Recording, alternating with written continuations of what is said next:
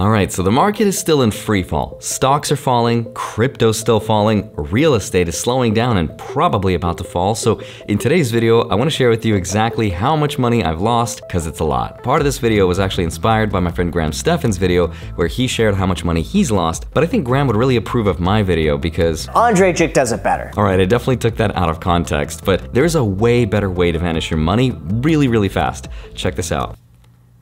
Oh boy.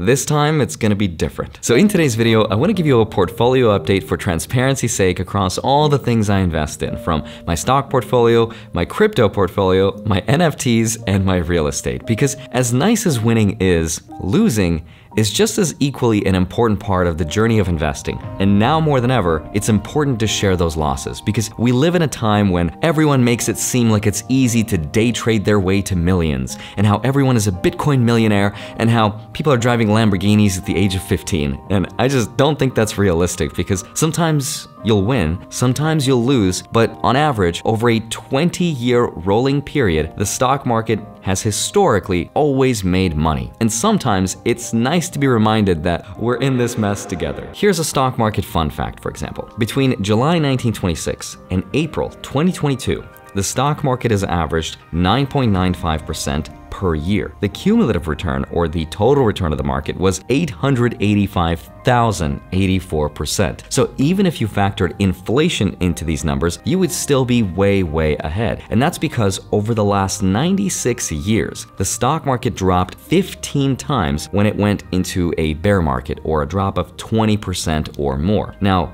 we have already done that. The S&P 500 did that on May 20th, so the clock has already started.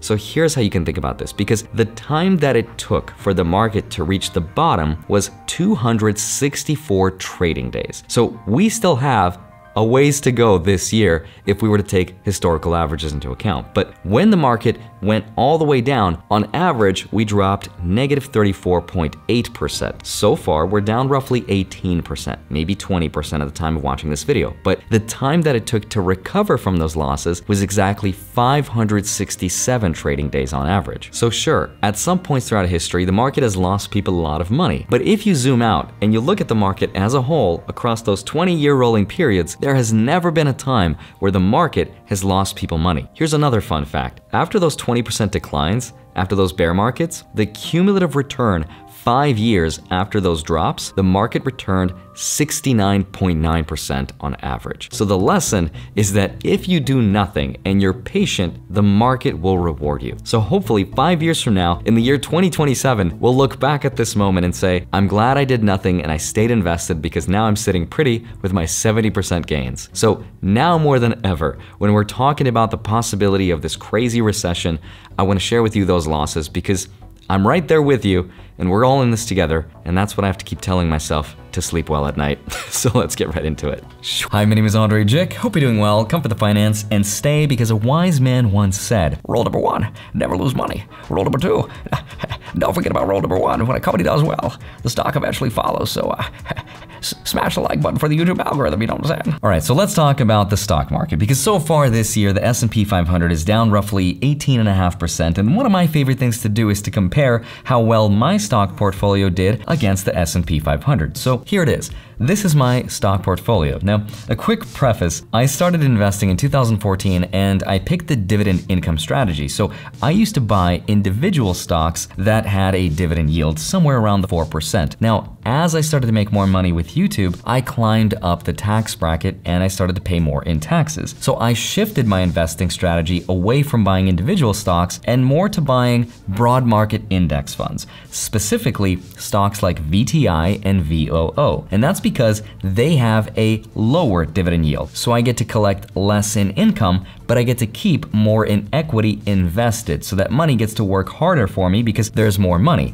If I was to take it as an income, I would pay more in taxes and keep less for myself. But that's just my personal situation. Now that's why as of right now, 61% of my portfolio are individual stocks and roughly 39% are those ETFs. My goal right now is to buy more of these ETFs to grow my ETF pie to be a little bit bigger. But what's funny is that right now in this economy where everyone is afraid of a recession, it's it's the dividend style of those individual stocks that I've been buying that are doing much, much better. So I'm kind of glad that I have a hybrid model to rely on. In fact, I just recently heard a quote that I really liked, and it goes like this Equity comes, equity goes, but cash always flows. And the older I get, the more I realize that investing is so personal. It's not just about the total market return, because if that's the case, the S&P 500, this side is actually much more profitable on a long-term scale. But in times like these, if you were trying to retire, then you don't want to be selling off equity of the S&P 500 at a 20% loss because it's costing you even more to fund your retirement. It's kind of interesting.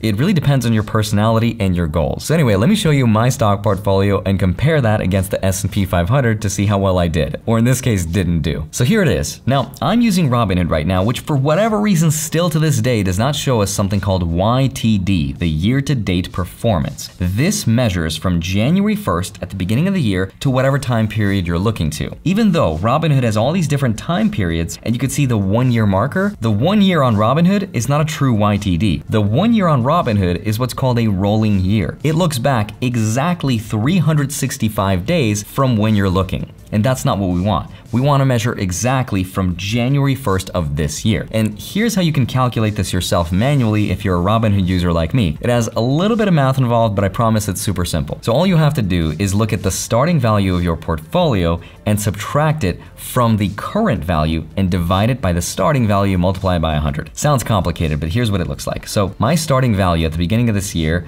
was on January 3rd, that's the closest I can get with my fat finger, is 646,469.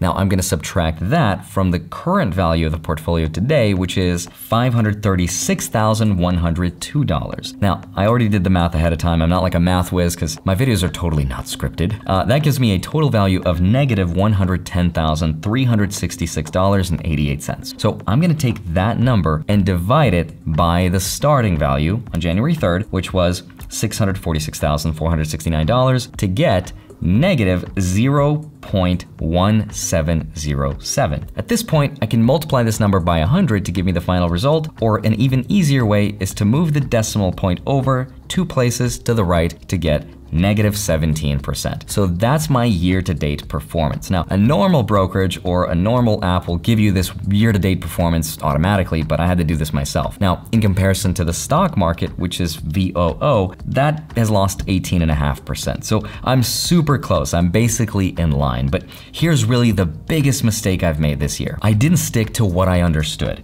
For example, I understand dividend stocks. You buy them and they pay you a passive income. They give you a dividend yield. That's great.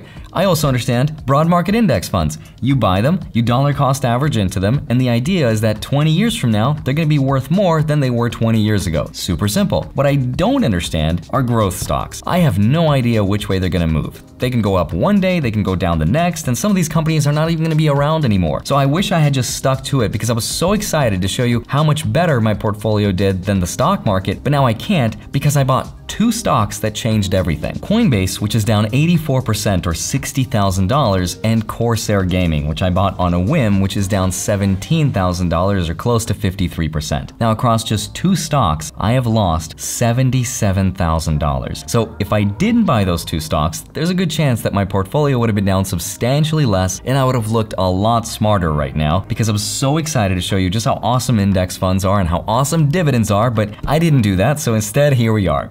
so that's my stock portfolio. Now let's talk about crypto. But first, a quick word from today's sponsor. All right, so you know how everyone is losing money in the markets right now? Well, get this. Americans lost $6.9 billion to online crime in 2021, far outpacing home burglaries. Yet, we continue to invest our money into physical protection like security cameras and smart doorbells, leaving ourselves completely vulnerable to digital crimes. So now more than ever, as we enter into a potential recession, it's important to protect ourselves, and I think I found the solution Aura. Aura is an all-in-one intelligent safety service that proactively protects you and your family from digital crime. With this one service, you get everything from identity theft protection, password management, financial fraud detection. It's also a VPN that allows you to safely and privately browse the web, and it monitors the dark web for any information that might expose your emails, your passwords, and social security numbers. They also monitor all three credit bureaus to make sure no one's trying to access your credit to get a loan in your name. They can instantly lock your Experian credit credit file, they can monitor your credit card transactions, and they have a 24 7 US based customer support team,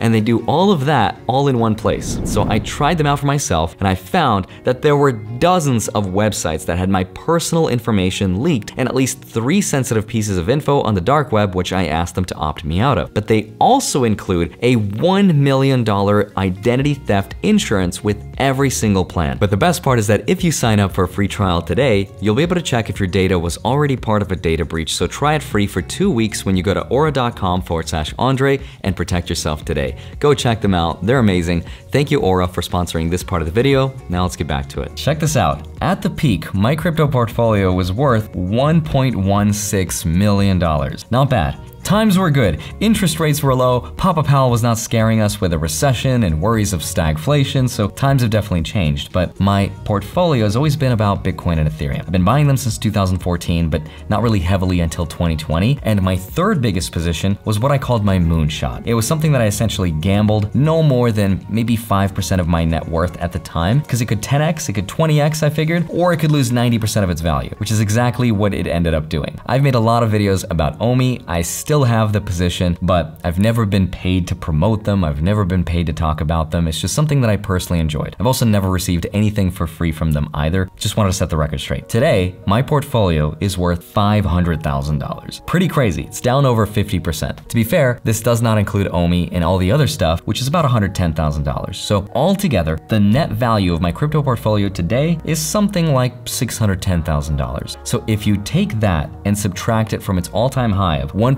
1.16 million, you get a total of $550,000. And if you add the losses in crypto to my stock losses of 110,000, you get $660,000 of losses. Now, unfortunately, I can't give you any encouraging historical facts about crypto because it hasn't been around long enough, so I can't say in 1926 Bitcoin Bitcoin was rat poison, but today it's a, it's the elixir of life. But I will say with relative confidence that the reason Bitcoin never reached $100,000 a coin by by now is because we never got the spot ETF. So the trillions of dollars that were all invested in index funds never really flowed into crypto yet, and our regulators are still dragging their feet. And ever since the collapse of Terra Luna, we're afraid of how they're gonna respond with regulating those stablecoins. But I will say that five years from now, it's my belief that Bitcoin will be closer to $500,000 a coin than it will be to zero. But that's just my perspective, and that's crypto. Now let me share with you something even crazier, which are NFTs. Please remember that NFTs are not a reliable investment and retirement strategy. This is only for fun and educational and entertainment purposes only. So here it is. This is the total vault value of my NFTs at the peak, $312,000, which is pretty crazy. Also, it's not technically dollars, it's gems, which is an in-game currency of the app, which you can't convert to dollars yet. You'll be able to hopefully at some point. Don't know when, but let's pretend like I can for now, because right now,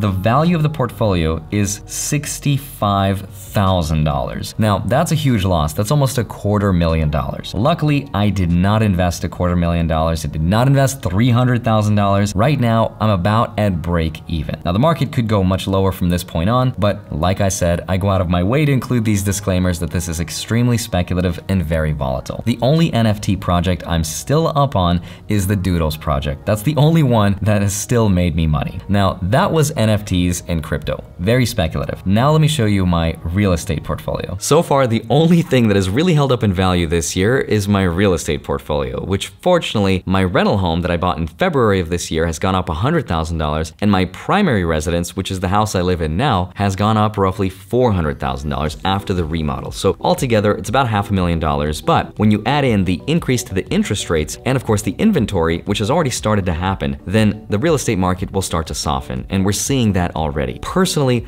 I'm actually really excited for this to happen because I feel like real estate has been overvalued for such a long time, and I think it'll be a great buying opportunity, especially for first-time home buyers. So altogether, my losses were $910,000, but if you add in the price appreciation of real estate into that, then net, all in all, my year-to-date performance is $410,000 in losses. Now, this does not include alternative assets and collectibles, but that's why they say it's important to diversify and never put all your eggs in one basket because it's a lot more fun to watch lots of baskets on fire instead of just one. It's a bigger bonfire. Just kidding. That's why it's important to buy not only stocks, but also some crypto and also some real estate because hopefully they won't all move in the same direction. Otherwise, those losses could be a lot worse. So, as always, have a wonderful rest of your day. Smash the like button, subscribe if you haven't already. Go grab up to $250 worth of free Bitcoin with this link right here. Go grab your free stocks. Links are down below, and then go track them automatically with the spreadsheet link down below in my Patreon. Love you. Thank you so much for watching. I'll see you back here on Monday and Friday, sometimes a Wednesday. Bye bye.